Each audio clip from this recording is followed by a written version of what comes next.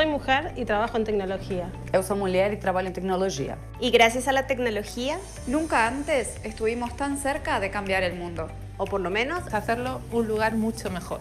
Behind every device, Every mechanism, Every machine, every program, every application. Behind every piece of technology, there is coding.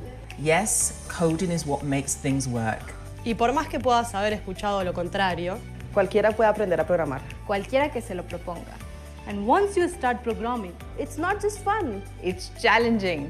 thrilling, Hoy, tres cuartos de los programadores son varones. nosotras podemos hacer un cambio. Y queremos más mujeres trabajando en tecnología. Súmate a la campaña Women That Build. Women That Build. Join the Women That Build campaign. Y descubrí las increíbles oportunidades que la tecnología tiene para vos. No dejes que otros programen tu futuro. Prográmalo tú. program it yourself. Prográmalo vos. Programe você mesmo. Program it yourself.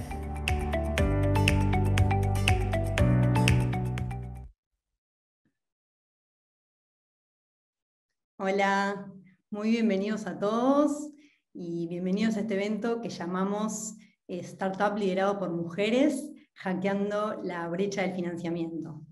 Mi nombre es Vivian Sosteliskis, soy VP de operaciones de Globant y junto con Globant Ventures, nuestro fondo corporativo en el cual invertimos en startups con base tecnológica, decidimos organizar este evento para continuar desafiando la realidad de las mujeres en la industria de tecnología algunos números que, que, reflejan esta realidad en Latinoamérica. Nosotras, las mujeres, representamos el 41% de la fuerza laboral, pero solo 3 de cada 10 trabajadores de STEM son mujeres. A nivel universitario, en Argentina, si bien 6 de cada 10 estudiantes son mujeres, representamos únicamente el 25% del alumnado en ingeniería y el 15% en carreras de programación.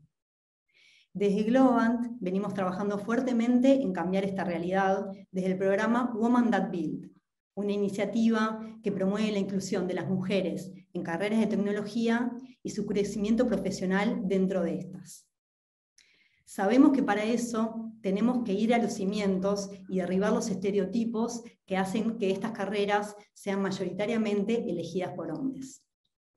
Buscamos que las niñas, a la hora de elegir su profesión, elijan carreras de tecnología, que cada vez más mujeres sean líderes, que cada vez más mujeres sean referentes técnicos, que cada vez más mujeres manejen empresas, que cada vez más mujeres emprendan. Según datos oficiales, las startups creadas por mujeres reciben, a nivel mundial, reciben 23% menos de financiamiento que la de los hombres. Y si bien la participación de mujeres en el patentado viene creciendo, de continuar con el actual ritmo, vamos a llegar a la paridad en el 2080.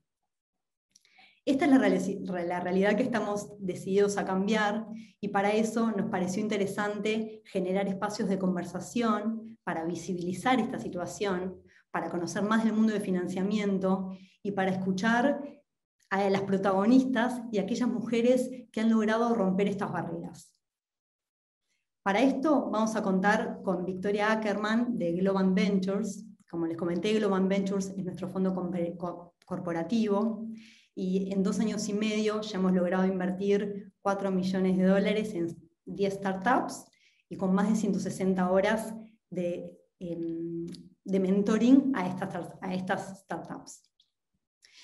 La primera invitada de la tarde y con la que nos vamos a meter de lleno en el mundo de financiamiento es Patricia Sáenz.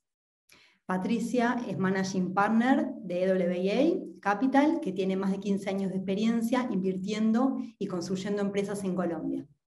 Más de cuatro años de experiencia como inversionista ángel y administradora de fondos de capital de riesgo. Evaluó más de 300 oportunidades en los últimos, en los últimos tres años y además es miembro de la Junta de Colcapital. Luego de Patricia, vamos a contar con dos mujeres emprendedoras y exitosas que nos compartan sus historias. Ambas líderes de startup recientemente aceleradas por Globant y es un honor, un honor poder contar con ellas hoy. Vamos a preguntarles qué fue lo que las guió por el mundo del emprendimiento, qué, con qué obstáculos se encontraron, de quién recibieron ayuda. Por un lado tenemos a Noelia Aguirre Fernández, co-founder and CEO de Startup Robin. Por otro lado, a Pamela Richer, cofundadora y CRO de B2Chat. Luego de eso, vamos a cerrar con algunas consideraciones finales y con un mensaje con todas juntas. Los invito, para aquellos que estén interesados en saber más de Global Ventures, los invito a entrar a la página o a directamente postularse desde la página de Globant. Y también para aquellos que durante el encuentro tengan alguna pregunta, vamos a dejar abierta la sección de QA para que puedan preguntar por ahí e intercambiar con las protagonistas. Muchas gracias a todos y espero que lo disfruten. Ahí Vicky, adelante. Gracias Vivi. Invito también ahí a, Patricia a sumarse. Hago unas consideraciones antes de empezar con el tiroteo de preguntas a Pato. Que para nosotros desde Global Venture es una gran satisfacción poder hacer esta, este webinar, estos paneles. Como decía Vivi, Global Ventures tiene menos de tres años de vida y quizás era impensado hace un año eh, tener la posibilidad de tener dos startups invertidas que puedan estar lideradas por mujeres y puedan ser parte de estos paneles. Era impensado pensar que podíamos conversar con, una colega como Pato sobre cuál es su mirada, así que para nosotros eh, es un día de muchísima alegría y vamos a aprovecharlo al máximo esta hora que tenemos para que todos nos podamos llevar algo. Así que eh, muchas gracias a todos. Voy a hacer una salvedad a Patricia ya un poco la introducción Vivi la hizo, pero también contarles que, que, quizás desde Global Ventures nos paramos como un fondo corporativo, o sea que es una corporación la que decide invertir en startups, y Patricia está desde el lado de lo que es un venture capital, ¿no? lo que es, es un fondo de capital emprendedor. Quizás algunos pueden pensar que estamos en veredas diferentes, pero tenemos muchas cosas en común, y en realidad lo interesante de nuestro encuentro y de cómo nos conocimos tiene que ver con un grupo de mujeres inversoras que se llama WeInvest Latam, donde más de 120 mujeres nos juntamos y conversamos sobre tendencias, sobre cuáles son las inversiones que alguna está haciendo y generando estas redes que son tan importantes y las que vamos a hablar también como punto fundamental para lograr que más mujeres eh, emprendan, más mujeres estén a cargo y en la cabeza de grandes startups. Así que bueno, Patricia, muchas, muchas gracias por estar acá. Y quizás así como para romper el hielo, si querés vas a poder meter alguna intro sobre, sobre tu realidad hoy, pero lo vamos a ir transitando, contarte o preguntarte sobre cómo fue tu camino como inversora, cómo empezaste y en dónde estás hoy. Bueno, Vicky, mil gracias, mil gracias por, por la invitación. La verdad, lo que tú dices, estoy feliz de estar acá y pues todas de diferentes ángulos, pero qué bueno que ya podemos tener un panel diferente, ¿no? Eh, a ver, yo arranqué y yo creo que, digamos, aquí viene mucho la historia y, es una parte que, que, creo que es importante y es mi familia. Mi, mi, papá fue empresario y yo creo que cuando uno viene de una familia de empresarios, pues también es una manera diferente que estás como expuesta al riesgo, ¿no? Sabes, los negocios van bien, los negocios van mal, había para vacaciones, había no para vacaciones, o sea, entonces todo como que te enseña pues a, a tener esa realidad que es la realidad del emprendimiento Estudié en Londres y cuando volví, a mí la parte de private equity, porque en ese momento, pues en el 2004 Venture Capital, sí que en Latinoamérica pues ni se hablaba, me parecía súper interesante, súper, sabes, como que veías muchísimas empresas que tenían un potencial, pero que eran muy familiares, que le faltaba toda esta parte de gobierno corporativo y empecé a ser como inversionista ángel eh, en diferentes empresas y en el 2016 em, vi la oportunidad, digamos, de, arrancar como un venture capital mirándolo en la parte tecnológica, un poco entendiendo que Latinoamérica ya estaba listo, pues que sabes, toda la parte de acceso a smartphones, la parte de acceso a Internet, el gap tecnológico que uno siempre ve, pues ya no es tan, tan grande, sigue siendo muy grande entre ciudades y provincias, pero pero realmente pues esto ha venido cambiando y se veía que había un potencial y una oportunidad muy grande. Y así arrancamos, digamos, eh, antes Ewa Capital era Mountain Nazca Colombia y arrancamos este primer fondo de Venture Capital, que pues como yo digo siempre, yo también soy emprendedora porque se imaginarán, 2016 y yo iba a buscar inversionistas, era mi primer fondo de inversión, decirles que iba a invertir en empresas en etapa temprana de base tecnológica Después de dos horas de hablar con los inversionistas me miran y me decían, es que no entendí qué vas a hacer. Eh, entonces, pues, o, sea, frustrante, igualito que todo lo que le pasa a los emprendedores, igualito toda la curva, o sea, y, y al final terminamos con un fondo que fue como un microfund, pero dijimos, bueno, pues lo vamos a hacer, lo vamos a sacar del estadio, invertimos, yo creo que invertimos muy bien, o sea, de las empresas en las que estamos invertidos está Platzi, eh, que seguramente la conocen de educación, Merkeo, que es groceries online, que también ya está en Colombia, en Bogotá, Medellín, Cali, Barranquilla, y está también ya en, México y pues le está yendo también muy bien. Un Doc3, que es una plataforma de salud, que también pues le, le está yendo muy bien, acaba de cerrar su serie pre-A.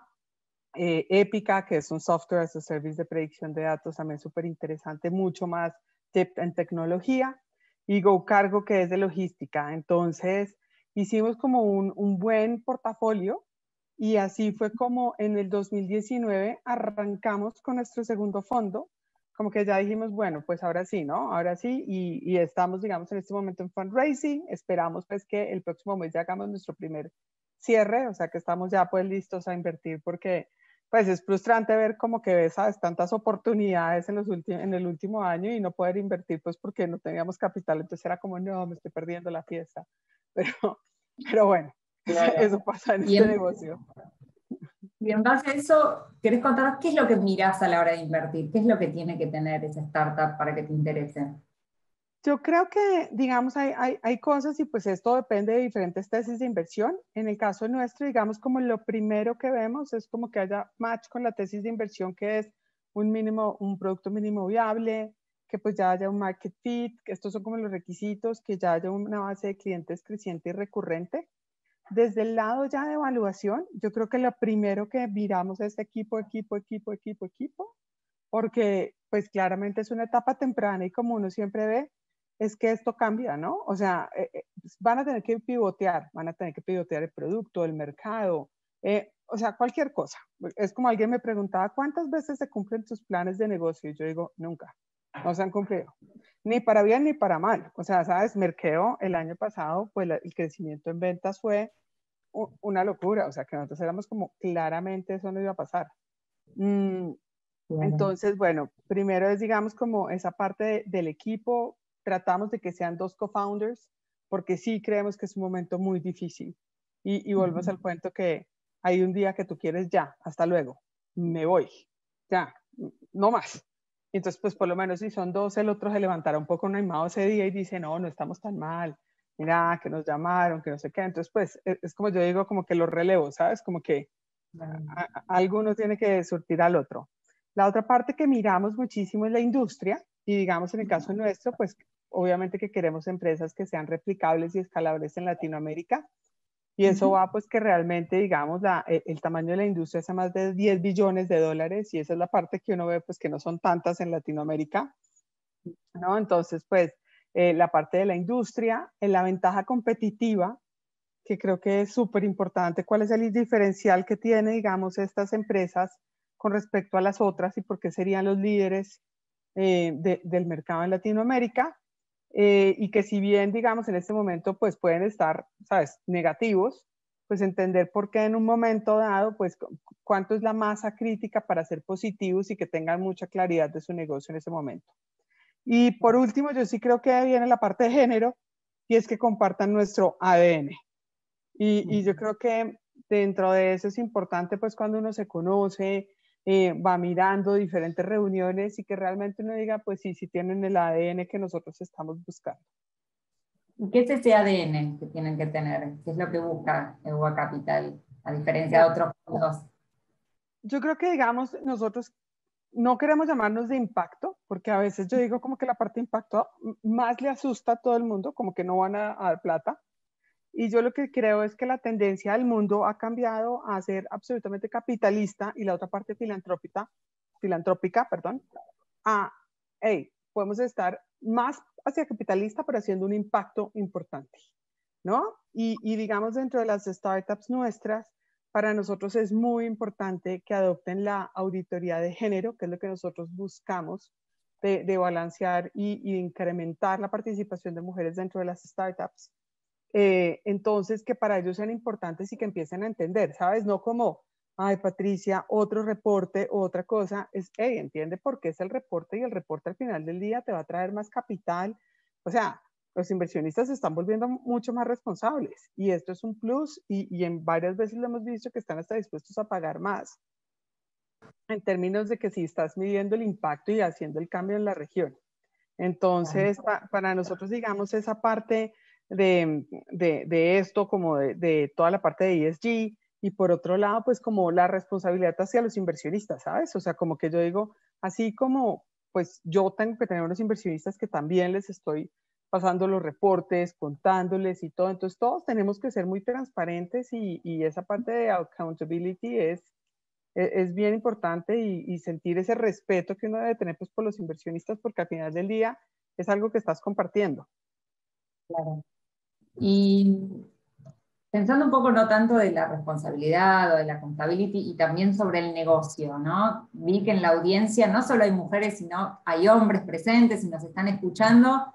¿Qué le dirías vos a este, al agnóstico, como le digo yo, que, que te puede decir, ay, pero eso es toda una cuestión de marketing, ¿por, ¿por qué tanto enfoque en esto? O sea, ¿qué, ¿qué, le brinda al negocio y cuál es ese secreto que hace que sea productivo y beneficioso tener un equipo diverso o una perspectiva de género y, y sumar en la conversación estos temas? Bueno, yo primero diría que son muchos, pero voy a nombrar tres, pero además le diría que es como el que decía que, uy, no, que la tecnología era una moda y que el mundo no iba a cambiar le diría como hace cuatro años eso me lo decían y hoy en día, o sea, todas las plataformas y todo, entonces pues que, creo que es un momento de abrir los ojos y no pensar que, que simplemente un marketing. Hay varios puntos. Por un lado, yo creo que en, en esta parte de SDGs que, que, han, que ha estado toda la ONU y todo, pensando cuáles son los problemas más grandes del mundo, la inequidad de género es el número 5. O sea, es, es, entre lo que ellos montan el número 5 y es muy importante. Y digamos, en estos estudios de McKinsey mostraban como si hubiera un balance, porque este no es el feminismo, como yo digo, pues ya para el otro lado, porque si no cambiamos el problema, sino es un balance de género, realmente la pobreza se reduciría en un 30%. Entonces, si te das cuenta, son o sea, es como uno de los que yo digo, dentro de cuando veo todos, digo, es hasta el más fácil. ¿no? O sea, es, el más fácil y está en manos de los empresarios, o sea, porque este, la parte de, del cambio climático, la, o, o, sea, cero eh, hambre, eh, o sea, ese, está un poco más complejo que este que yo digo de, tendría un impacto increíble en el mundo. Entonces, para nosotros, digamos, esa es como, como una de las partes que yo digo como, hey, e, es un punto que podemos hacer todos y participar activamente por otro lado, digamos, en, en, todos los papers que uno ve de IFC, de IDB, de, de, ¿sabes?, de McKinsey, pues demuestran que al final del día un equipo diverso, pues tiene mejores resultados. Y eso es lógico. Cuando uno estudia afuera, no sé, en Inglaterra o en donde sea, pues al final del día te ponen en grupos con el chino, el indio, el colombiano y el alemán. Y pues todos piensan súper diferente y, es realmente productivo esto. Entonces acá, pues las mujeres piensan diferente, los hombres piensan diferente y las mujeres tienen el 70% del poder de compra en Latinoamérica. Y muchas cosas pasan que es simplemente todo producido por hombres. Entonces es como, si pones un poquitín de lógica en, hey, ¿qué puntos podemos agregar valor y qué buscamos en este balance? Pues vas a tener mejores retornos. Eh, entonces yo diría, vas a tener mejores retornos, vas a contribuir con, con esta parte de SDGs y, y, al final del día, pues yo creo que es una parte y una base muy importante también para, pues, para los niños, ¿sí me entiendes? O sea, tú, el ver a, a, a las mujeres trabajando y como entre más mujeres hayamos y, y, y seamos como más eh, como líderes, pues vas a poder realmente impactar mucho mejor en la sociedad de aquí para abajo. Y, y esto, pues todos sabemos, acaba con la violencia intrafamiliar, acaba con, con, miles de problemas que tenemos lamentablemente y que se han disparado en este momento del COVID.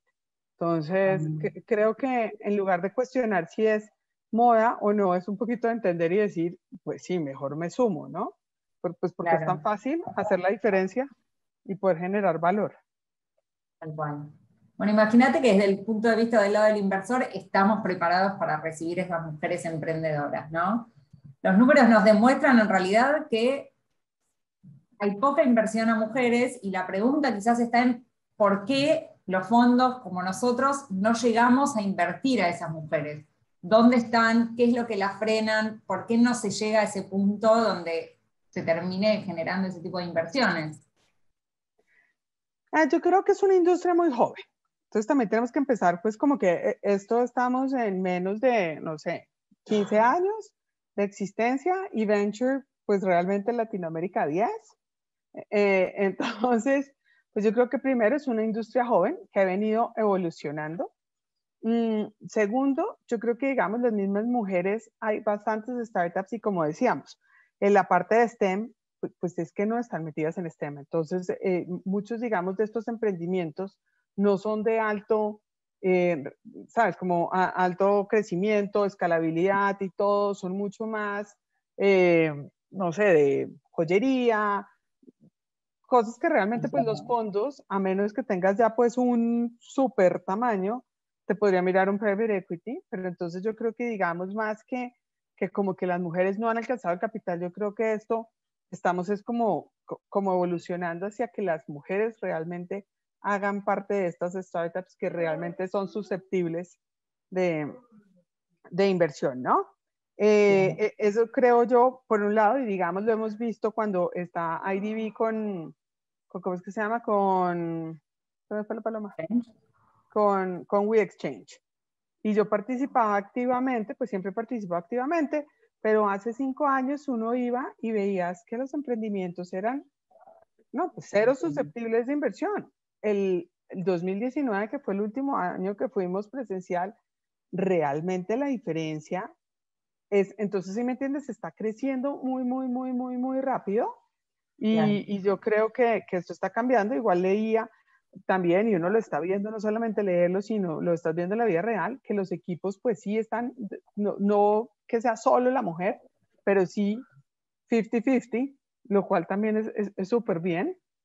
Entonces yo creo que está cambiando cada vez más y obvio, tenemos que hacer más cosas para que el cambio sea mucho más, rápido, ¿no? Digamos, un poco te cuento desde la tesis nuestra de EWA con, con nuestra auditoría, lo que buscamos es que haya más esta, estas mujeres que no se queden en el tercer nivel, sino que pasen al segundo, porque creemos que las startups deben ser semillero de nuevas mujeres para que sean emprendedoras.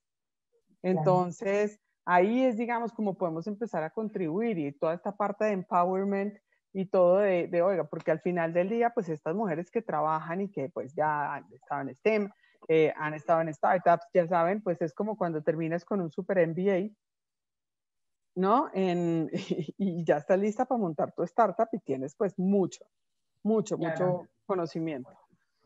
Claro.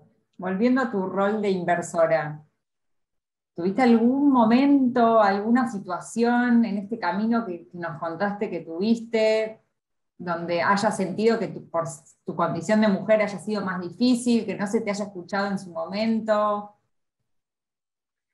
Yo creo que sí, porque también estamos hablando, de, vuelvo y digo que esto era joven y toda la parte, digamos, financiera, pues siempre es súper machista, ¿no? O, machista, pues no, pues, sino que pues no hay tanta representación de mujeres. Entonces, pues sí llegas a juntas y, y pues si era como en un principio como, uy, ¿y esto qué? Y, pues es como el grupo de los amigos, ¿no? Eh, entonces, entonces, llegó una nueva amiga y pues hay que hacer parte del, del grupo.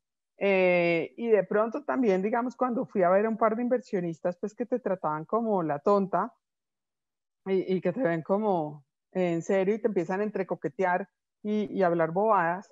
Eh, pero al final del día, pues si tú me preguntas qué porcentaje, creo que es un porcentaje mínimo comparado con, todo lo que he recibido bueno. Entonces a esos hay mejor que dejarlos pasar y no ponerle tanta, tanta atención. Bueno, a veces lo que escuchamos es que las mujeres a veces no nos animamos lo suficiente o necesitamos llenar todos los casilleros para ir a algún tipo de postulación. A lo mejor nosotras mismas también por momentos creemos que, a ver, es medio autorreferencial, pero pero a veces internamente uno llega a ese momento donde dice, ¿por qué me estoy levantando yo a servir café o ofrecer? Porque estoy en mi casa, porque estoy en mi oficina y obviamente pregunto quién quiere café, pero en un momento digo, si yo me quedo sentada y no ofrezco café, no habrá café, pero no voy a ser yo la que ofrece café. Eso fue como uno de, de esos ejemplos donde decís, bueno, yo me pongo en ese rol, bueno, salite vos de ese rol, ¿no? Salí de ahí y buscá un nuevo estatus en donde, bueno, Vicky, en este caso de Patricia o todas las que estamos escuchando, no es la que sirve café. No habrá café en la reunión y no habrá café en la reunión. Y listo. Em, ¿Qué imaginas para el futuro? ¿Cómo sigue esta historia vinculado a, tener fondos con perspectiva de género, generar más opciones, más lugares, más emprendedoras? Yo creo que apenas estamos arrancando y, y, en todo, o sea, sabes, como en toda la parte de Venture Capital, yo me imagino que realmente este es el camino para cerrar la brecha de todo, de todo en la región, o sea, sabes, como de generar empleo formal, de hacer como unas mejores políticas dentro de las empresas, eh, de yo sí creo cada vez más van a haber más mujeres dentro de, dentro de las startups trabajando eh, mucho más en toda la parte STEM. Entonces, yo sí creo que es como, ¿sabes? Me, lo imagino como un mundo lleno de oportunidades, o sea, y, y, mirando un poco, digamos, como cuando nosotros vemos en Platzi y decimos, es que realmente tú puedes crear todo esto de, de estudios, de desarrolladores, creando las skills que necesitan las empresas y, al, y a la misma vez siendo una, siendo una región que podemos exportar el talento de todos estos desarrolladores y así solamente con eso, pues estamos haciendo un gran cambio, un gran cambio. Entonces, y también veo que, pues, no, no sé, digamos, mi generación puede ser que ya le cueste más, pero creo que las que vienen detrás son unas, unos voladores. Eh, entonces, sí creo que, que, digamos, es una, una gran oportunidad. Es lo único que yo es como que sí creo en esto, creo que la parte machista se, se acaba, se minimiza, eh, to, todas estas pequeñas bobadas que antes hacían y que uno ni siquiera uno mismo pensaba que, que era como acoso o lo que fuera, hoy ya es una parte súper de respeto, entonces yo sí creo que lo, que se viene todo es bueno. Qué bueno, qué bueno. Patricia, muchas gracias. Eh, encuentran en EWA Capital, la pueden buscar en LinkedIn, eh, es un fondo maravilloso y lo que está proponiendo eh, es innovador, pero no tanto, porque creo que está en la esencia de la mayoría de nosotros. Gracias por sumarte y, y, bueno, esperamos vernos pronto presencialmente en Colombia, en Argentina y por qué no compartiendo alguna inversión. Así que muchísimas gracias, Patricia. Gracias. Por favor. Bueno, hemos terminado el primer bloque y ahora sí vamos a dar paso como a la consecuencia de, de, estas cosas que estamos diciendo que suceden en los fondos, de empezar a mirar, de empezar a, a poner el ojo en algunas variables que a lo mejor antes no, no sucedían tanto. Y tengo la enorme satisfacción de sumar a este próximo panel a dos de las inversiones que hicimos de Global Ventures y que quizás es interesante saber de que no es que en Global Ventures nosotros tenemos un cupo asignado para mujeres o que vamos y específicamente buscamos a startups que tengan en, en sus fundadoras mujeres, sino todo lo contrario, buscamos el talento, buscamos la disrupción, la innovación, y fue así como nos encontramos con Pamela y con Noé, así que las invito a subirse virtualmente a esta conversación. Hola Noé, hola Pame. ¿Cómo están? está desde Argentina y Pame está desde Medellín, desde Colombia. Eh, Noé fue una de las inversiones que hicimos en el 2020 y Pame el 2021. Eh, no voy a leer sus currículums, los vieron en todos los posteos de LinkedIn, pero sí quizás destacar de ambas que toda su formación, su carrera profesional, eh, está quizás eh, signada por, por, ir en busca de, de, de un crecimiento, de una madurez que no se queda solamente en quién soy, sino ir a la especialización, ir al detalle, ir a buscar más conocimiento a otros países, eh, trabajar en multinacionales, que algo que no hablamos con Pat, pero que sí también se destaca es que hay también pocas mujeres en, en las cúpulas de las grandes corporaciones. Y muchas veces a las emprendedoras las podemos encontrar por haber tenido una carrera en esos lugares. Así que queremos más mujeres en las multinacionales para tener más emprendedoras exitosas Así que bueno, muchas gracias, vamos a conversar con ambas, vamos a ir turnándonos y, entre las tres vamos a ir llevando adelante estos 25 minutos, 20 minutos. primero como para romper el hielo y que puedan conocerlas, ya veremos quién quiere empezar, pero el, agregado que les propongo es que más allá de usar un minuto para contar de qué tratan sus emprendimientos, contar un poquito qué impacto puede llegar a, o sea, qué impacto tiene o cuál es el propósito que lo hace único y diferente. Así que las escuchamos. Eh, bueno, bueno, gracias, arranco entonces. Bueno, gracias, gracias Victoria, gracias Global Ventures, Roman, eh, por, por, invitarnos a participar. Me encanta tener la oportunidad de, antes que nada, eh, quería agradecerles y, de la oportunidad de estar acá y charlar con todos ustedes.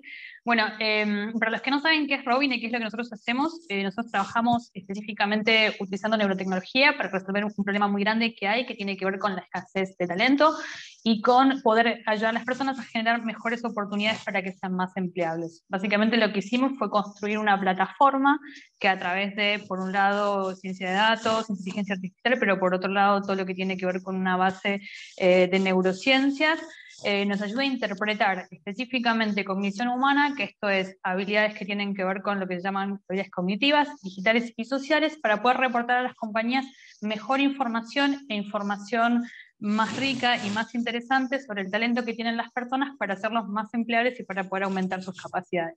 Básicamente nosotros eh, estamos muy enfocados en poder hackear la mirada del talento eh, de una forma, eh, digamos, muy disruptiva y muy interesante, porque nosotros creemos que todas las personas tienen talento. Un poco me sumo a lo que decía Patricia anteriormente. Eh, el problema está en que cómo miramos ese talento y cómo lo buscamos, ¿no? Eh, todo lo que tiene que ver con, con, las oportunidades, lo que tiene que ver con diversidad de género, las oportunidades de las mujeres. En realidad lo que nosotros tendríamos que hacer es poder utilizar herramientas como, como Robin para poder medir específicamente qué habilidades tienen las personas y necesariamente con, digamos, con esa sola información las personas ya son absolutamente empleables, ¿no? Lo que pasa es que a veces hay muchos sesgos en cuanto a cómo se mira eh, el talento y eso es lo que nosotros hacemos, es haber desarrollado una herramienta con una tecnología que no existe prácticamente en la región para hacer eso posible. Buenísimo, buenísimo. Después tomo cosas para hacerte preguntas. Súper, súper. Yo, yo también agrego y primero muchísimas gracias eh, por la invitación y muchísimas gracias a Global Ventures por, por hacer este, este panel y pues me encantó también como lo que habló Patricia desde la perspectiva de, de ella como, como inversionista. Eh, les quiero contar un poquito sobre B2Chat. Nosotros somos un software que básicamente conectamos diferentes mensajerías o diferentes canales de mensajerías para que las empresas puedan vender por esas mensajerías y puedan hacer soporte. ¿En qué impactamos? Impactamos a las pymes impulsándolas obviamente a vender y fortaleciendo su atención al cliente a través de nuestra solución, que es una solución eficiente de comunicación digital. Y con respecto al propósito, eh, es ayudar a las empresas para que por medio de esta mensajería, WhatsApp, Facebook, pues WhatsApp, eh, eh, Business WhatsApp o Facebook Messenger o Telegram, logren más ventas y más clientes felices. Entonces, queremos finalmente lograr que nuestra herramienta le dé a las empresas y le dé a las pymes de la región para que sean más competitivas en el mercado. Entonces, esto es B2Chat como en, en, grandes, o en un snapshot como de la, de la compañía y, y súper feliz de estar aquí y súper emocionada de poder acompañarlas en este evento. No, gracias a vos pensaba, eh, Noé habla de Robin y obviamente lo que hace es pensar en el talento más allá de cuál sea esta carcasa en la que cada uno viene. Y Pame, por otro lado, habla de lo que decía Patricia, de, en gran parte que gran, muchas de las decisiones que se toman en los hogares sobre el consumo tienen que ver, o sea, las toman las mujeres y de alguna forma esas pymes se basan en eso.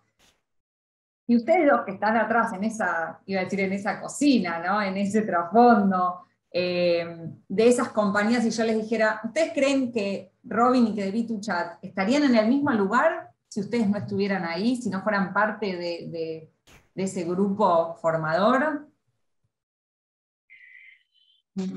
Bueno, en mi caso creo que, nada, no estaría si no estuviese, si, faltara el otro co-founder, si faltara el equipo, o sea, no sería nada de, lo que soy si, no estuviese cada una de las personas que impactaron en, todo el proceso eh, que, que, tiene que ver con Robin. Pero sí creo, como decía Patricia, que, que, hablaba un poco de estos estudios, estos papers que tienen que ver con sumar diversidad a los equipos. ¿no? Yo muchas veces cuando, cuando hablo con mis clientes o con inversores les digo, no suben mujeres porque hay un cupo, súmenlas porque realmente hay información y validación científica que muestra que aumenta la productividad, aumentan los resultados y genera todo lo que tiene que ver con un impacto mucho más positivo en los negocios, ¿no? Porque no es un tema de cupo o de decir, bueno, ok, es realmente como, digamos, un, eh, eh, genera un impacto real en los negocios, que es al fin y al cabo lo que, digamos, inversionistas o distintos stakeholders en las compañías quieren ver. Entonces creo que no hubiese sido lo mismo, no, seguro, si yo no estaba, no hubiese sido lo mismo. Yo, yo realmente creo que si no estuviera en B2Chat estaría en otro emprendimiento. Creo que siempre he sido emprendedora y, y creo que es completamente de nación. Si no estuviera en, en B2Chat, me gustaría pensar que estuvieran súper bien y que estuvieran creciendo como lo estamos haciendo, pero de todas maneras soy, o sea, lo mismo que está diciendo, que está diciendo Noé con respecto a, a, a, la diversidad es muy importante porque tenemos otras perspectivas, tenemos un mercado y tenemos una visión diferente porque compramos otras cosas, porque vivimos la vida de otra manera, sin decir que uno es, es mejor que el otro, simplemente son diferentes y nos, y nos, y nos podemos complementar muchísimo a la hora de, en la, a la hora de resolver problemas, que al final un emprendimiento es eso, es cómo resuelves los problemas más eficientemente, cómo avanzas eh, en, en, poder hacer cambios de forma rápida para poder acomodarte. Entonces, no es, no es algo de que, uy, yo tengo que contratar mujeres para chequear unos, un, unos, unos cupos, no, es realmente eh, eh, porque le va a beneficiar muchísimo a la compañía y, y, a todas las mujeres que están afuera, pues que están oyéndonos hoy y, y a las que no incluso, pues ojalá que, que, traten todas de emprender, así sea en un negocio aparte de su trabajo, porque el poder emprender le va dando uno ideas para poder ir avanzando en otros tipos de, de negocios y no solamente quedarse con su negocio principal. Pues en esta vida todos tenemos de cierta manera que tener A, B y C. Entonces, eh, inculcar mucho que que emprender también es de mujeres, también ojalá en la tecnología, porque es lo más replicable, es lo más, es, es lo más, es lo más fácil en cierta manera de, de, de, escalar. Entonces necesitamos ese talento y esas mujeres que nos acompañen en estos, en estos crecimientos. Total. Y hablando de roles, ¿no? Sobre qué hacer y qué no hacer, voy a caer un poco en un cliché, pero bueno, ustedes dos como, como cabezas de estas startups están como a cargo de salir a vender sus sus productos, sus servicios, ¿no? Eh, el cliché no están en comunicación, no están en recursos humanos, están también en esa trinchera de la venta y también de salir a buscar capital, ambas dos. Eh, ¿Tuvieron alguna situación? ¿Creen que les resulta más difícil? ¿Cuáles son esas dificultades y, esas fortalezas que creen que por sus personas, más allá no por ser mujeres, sino por quienes son ustedes, eh, se les presentaron en, en en la formación y, y en este momento con, con sus startups? Eh, bueno, acá eh, a mí la, la, parte de salir a vender el proyecto no, no, me cuesta para nada porque los que me conocen saben que soy muy apasionada de lo que hago, de hecho emprendí desde hace muchos años y, y en general el proyecto de Robin, el proyecto de General Empleabilidad es un proyecto que me corta muy desde lo personal, con lo cual eh, para mí no es un trabajo, sino que es un placer y es hasta una misión poder como llevar eso a más personas.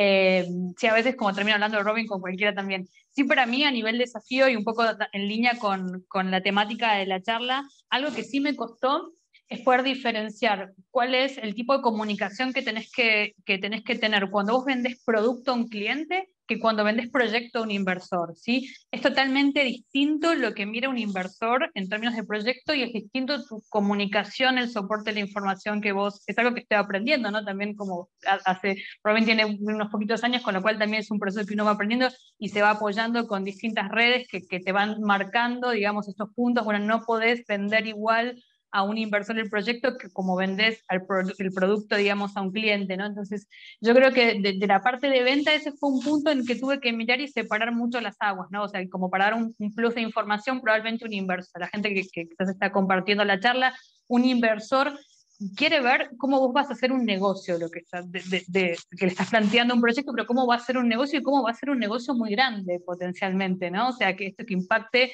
a muchas personas que vos estés, o, escuché una frase que me gustó, o que estés resolviendo un problema que nadie resolvió, o que estés creando una necesidad que hasta ahora no está creada.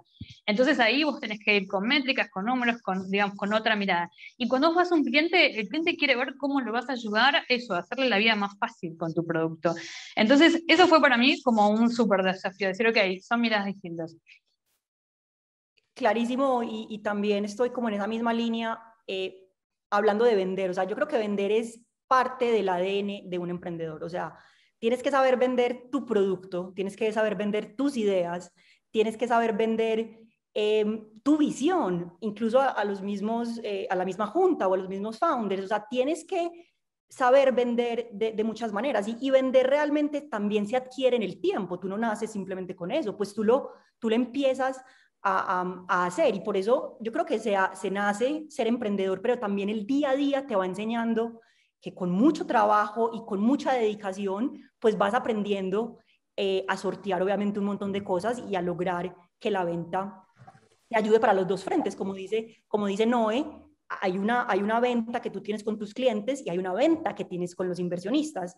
Ahora, a las personas que, están, que nos están oyendo y que están y que nos están viendo también y que están buscando eh, el tema de inversión, ojo que hay que ser muy claros, hay que ser muy transparentes y muy claros con la comunicación. Y creo que es fundamental, como dice Noé, tener muy claras las métricas, tener muy claro para dónde quiero ir, eh, tener un pitch o algo que, que uno se pueda basar en él. Entonces, esa, esa narrativa que uno va creando la puede ir también en, entrenando y la puede ir avanzando, pero la tiene que tener clara y tiene que trabajar mucho en la comunicación para que su comunicación sea muy concisa y sea muy simple, porque el tiempo es limitado para mucha gente y el tiempo es limitado en los eventos, etcétera, etcétera. Entonces, trabajar, si hay un mensaje que yo daría sobre eso es trabajar mucho en la comunicación para que sea concisa y para que sea eh, directo al grano me usaste, dijiste dos cosas. Dijiste que hablabas de un ADN emprendedor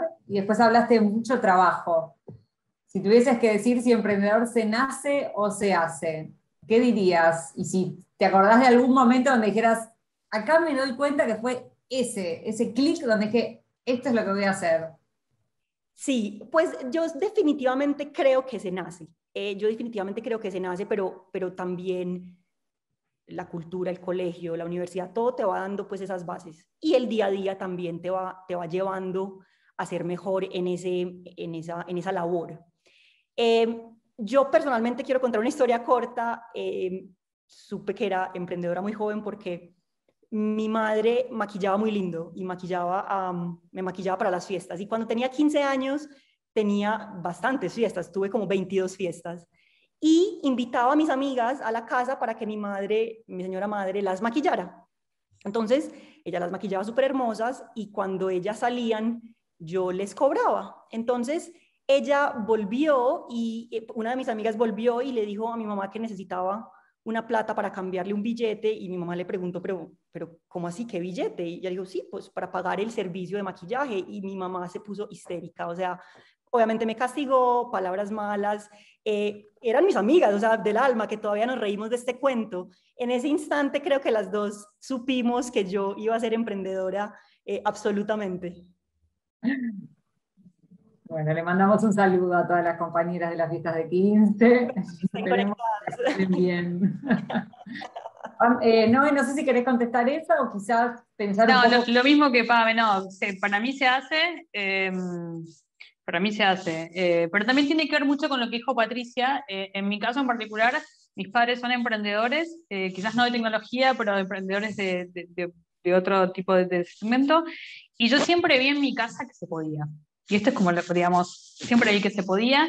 Y siempre fuimos, o sea, o sea, vivimos con esa volatilidad de que un día era tipo vacaciones extraordinarias y otro día, bueno, ahora a cuidar un poco más porque quizás los negocios no están tan bien y eso fue como, digamos, yo me, me quería así y, sobre todo lo que vi y que me compartieron mis padres es que se podía, ¿no? Entonces, em, eso para mí corta un poco y, no sé si es que se nace o se va haciendo con la familia, ¿no? Pero uno lo que termina viendo y que para mí es algo muy interesante eh, de los emprendedores, es que estamos muy orientados al riesgo, tomamos riesgos grandes y, digamos, y como que, eh, nada, eso es algo que viene dado ya por, cada uno, ¿no? ¿Se puede desarrollar? Sí, pero digamos, hay una cosa como más, una ansiedad ahí por, por hacer cosas, por arriesgar, que es un poquito distinta. Hay una, una pregunta, y es si alguna vez sintieron que por ser mujeres no podían acceder a presentaciones con fondos. A mí no, perdóname, perdóname, no, no, yo realmente muy, muy parecido de pronto a lo de Patri, y creo que a Patri nos, pues como que nos sentimos muy alineadas con lo que dijo, con lo que dijo obviamente al principio. Habrá siempre em, un cliente o, o, alguien que te coquetee, pero son muy mínimos o que no te tomen de pronto con la seriedad que debe ser. A la final, pues nosotros somos muy profesionales todas en nuestro trabajo y pues deberíamos obviamente pues exigir eso, pero es muy, muy poco lo que le pasa a uno. Realmente lo que más le pasa en el día a día es gente emocionada por lo que uno está haciendo y otras de pronto, otras hombres y mujeres y, gente de su alrededor eh, también metiéndose muy fuerte en este tema. Nuestra generación yo creo que tiene todo eh, para, para, crear empresas, para crear negocios de diferentes eh, verticales y lograr un crecimiento de la región y ojalá un, un cierre de este gap de géneros que creemos todas y pues estamos claras que, que, en los próximos años esto se va a ir disminuyendo. Eh, bueno, yo, tengo que decir, a mí nunca nadie me coqueteó, no sé, pero, no me pasó, pero bueno, está bien, mejor, eh, pero bueno, no me pasó. Eh, no, lo que tampoco me pasó es que sinceramente me hayan haya tenido alguna traba o algún problema para acceder a algún inversor o, o algún, o, no, lo tuve, sinceramente. Y, la verdad que eso es, es una suerte porque creo que, que digamos, o sea, cuando ves el porcentaje que se invierte en startups eh, lideradas por mujeres es, muy, muy poquito, con lo cual quiere decir que no están viendo tantas mujeres todo el tiempo como les pasa a los inversores. Eh, nada, por suerte no me pasó y yo siempre digo, cuando me pregunta alguien acerca del proyecto, cómo presentar un proyecto, creo que cuando tu proyecto es bueno y realmente vos, estás, vos tenés un negocio en tus manos muy interesante, muy disruptivo y sabes lo que haces, realmente al inversor no le va a importar si es mujer o no. Si el negocio es bueno, o sea, eh, seguramente tendrán las mismas oportunidades que los hombres. Lo que sí creo que es importante saber, es, eh, y tiene que ver con esto que vos decías, Vicky, al principio, ¿no? De saber eh, ocupar un rol quizás un poquito más a la fuerza, que no es el rol o el estereotipo que se espera para nosotras, ¿no? Esto del café, de servir el café. Entonces yo, por ejemplo, yo jamás sirvo café, o sea, es, como, es algo que no ocurre, como no me coquetean, tampoco sirvo café. Y tiene que ver con, también con, eh, sí quizás, eh, todo lo que tiene que ver con la, como uno comunica cuál es el espacio que tiene, que es un espacio de igualdad, ¿no? No, es, no estás pidiendo nada por favor, vos estás, tenés un proyecto excelente, tu equipo es excelente, digamos, y eso creo que es algo que se metacomunica, ¿no? O sea, entonces, eh, quizás si yo, no sé, no, no, no, estoy para dar consejo, pero bueno, si me lo piden, diría, vos andás con esa seguridad que no tiene que ver con ser hombre o mujer, tiene que ver con lo bueno que vos tenés para aportarle eh, a ese inversor, ¿no? Clarísimo. Claro. Sí, lo que estuve leyendo también es que quizás con el tema de, la pandemia, los fondos tuvieron como que cerrar un poco sus compuertas, ¿no? Y, ayudar a, las startups que ya habían invertido, y en ese caso el, el grifo se abrió principalmente para aquellos aquellas startups donde uno o ya venía recomendado por alguien o era parte de una red de gente que uno ya conoce, ¿no? Entonces, pensando en por qué no llegan esas mujeres y a lo mejor no es porque alguien te rechace, sino porque por, por alguna razón vos no llegaste a ese momento, mucho tenía que ver con la red de contactos que uno genera y que entonces para que vos puedas llegar a ser de ese top five, de ese de esas, listado de cinco preferidos o que tengan en su cabeza esas personas en la toma de decisiones, hay mucho para vincularse y no quedarse en el que no, porque a mí no me llaman, porque a mí no me seleccionan porque yo no soy buena, sino que... Sí, Bueno, es, es, correcto. De hecho, el, el, año pasado los datos muestran que bajó la inversión. El número era chico, bajó todavía más el porcentaje que se invertía en mujeres. Y es cierto, la red es clave. Eh, en mi caso en particular, toda mi primera etapa, eh, toda mi red eran hombres, era muy curioso, hasta que, bueno, me, me ocupé de buscar, de específicamente pedir que me contactaran, que me presentaran mujeres que, que, pudieran, donde yo pudiera también encontrar una, una mirada similar quizás a la que yo estaba buscando. Tuve la suerte, hay un montón de mujeres también eh, generando red en Latinoamérica, Marta Cruz, todo lo que tiene que ver con el programa de We Exchange, la gente de IDB Lab, digamos, hay un montón de gente que, que está haciendo un trabajo hace muchísimos años para, para, acompañar a mujeres específicamente, pero sí es cierto que curioso que en general en toda mi red son hombres, eso es un dato también, ¿no?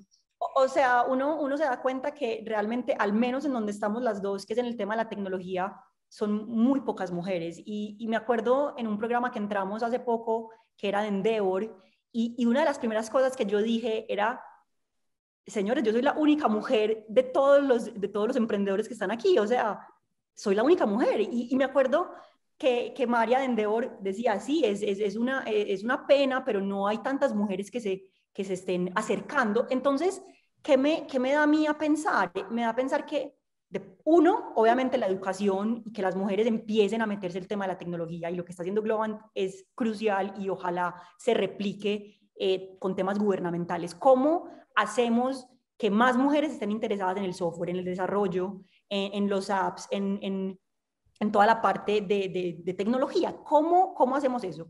Y finalmente, esas mujeres que ya están metidas ahí, independiente que su emprendimiento sea tecnológico, puede que también tengan otros emprendimientos que también sean escalables y no sean de nivel de, de, base tecnológica, que empiecen a asistir a todos los eventos de emprendimiento que cada país o cada región tiene o, o cada ciudad tiene sus ecosistemas, pero hay que ir, hay que estar, te tienes que mostrar.